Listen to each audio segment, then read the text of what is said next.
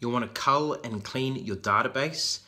Don't worry about that. If, if you've got 400 people in your database and you're meeting up with them constantly, great. If you've got 10,000 people but you're not meeting up with them so you don't have a strong relationship but you've got high-tech touch points, great. 1,200, 1,500 in my opinion is great, 100 connection calls a week.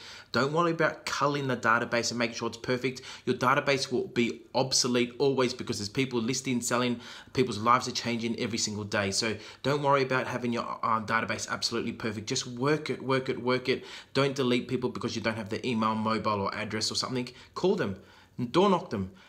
Do, do what you need to do to get the information that you're missing. Don't delete them. People spend too much time trying to make their database perfect when they should be working on their database because that is perfect.